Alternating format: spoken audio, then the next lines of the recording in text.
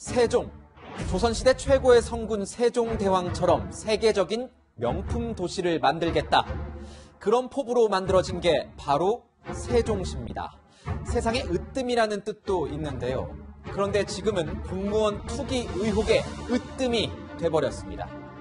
혈세 171억 원을 들여 세종시에 지은 관세평가 분류원 청사 1년 넘게 텅 빈 유령 건물로 방치돼 있습니다.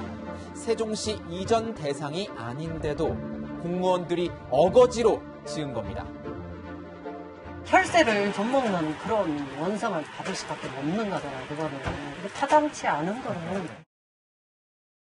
관세청, 행복청, 기재부, 행안부, 최소 4개의 중앙부처가 개입되어 있었던 만큼 걸러질 수도 있었지만 삽을 풀 때까지 누구 하나 몰랐습니다. 그래 놓곤 하는 얘기가 도시 내용, 법을 잘 몰랐다라네요. 민간 기업도 아니고 행정기관이 이게 말이나 되는 핑계입니까?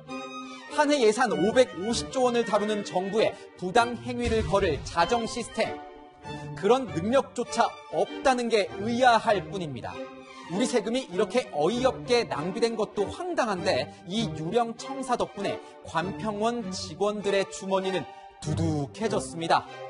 코앞인 대전에서 세종시로 이전하는데 특별 공급 아파트까지 받아 수억 원의 시세 차익을 얻은 겁니다. 세종시에서 살지도 일하지도 않으면서 말이죠. 세종시 안에서 사무실 옮긴 환전 직원들은 도대체 왜 차로 30분 거리인 대전에서 세종으로 이전하는 중기부 공무원들은 도대체 왜 특공을 받아야 합니까? 개인보다는 제도가 만든 허점이고 부패라지만 결국 제도의 주체도 사람입니다. 무주택 10년이 넘어도 당첨은 하늘의 별 따기.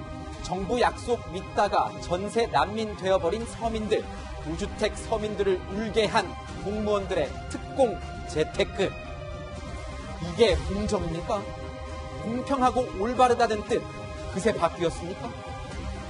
조선시대 관료들은 사불 삼거를 불문율로 삼았습니다. 공직자가 하지 말아야 할 네 가지와 거절해야 할 세 가지를 일컫는데요. 재임 중에는 부업을 하지 않고 땅을 사지 않고 집을 늘리지 않고 재임지의 특산물을 먹지 않아야 한다고 했습니다. 투기를 부업 삼아 땅도 사고 집도 늘리고 세종시 특공까지 먹었으니 사관왕이네요. 축하드립니다. 지금까지 하나요 뉴스였습니다.